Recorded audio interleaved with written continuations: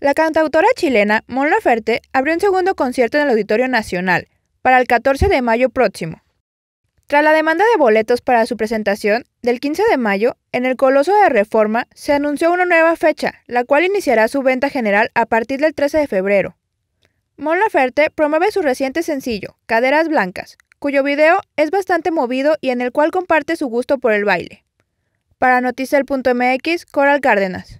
Las mejores llantas están en Maxis Tires. Obtén un 30% de descuento sobre el precio de lista. Y hasta 6 meses sin intereses en toda nuestra tienda. Aceptamos todas las tarjetas de crédito. Visítanos en cualquiera de nuestras dos direcciones o comunícate a nuestros teléfonos. Con gusto le atenderemos.